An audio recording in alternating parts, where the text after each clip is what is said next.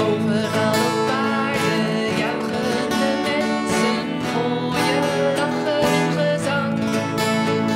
Voorbij de eerste zeeën klinken er klanken waarin de Heere God wordt gedankt.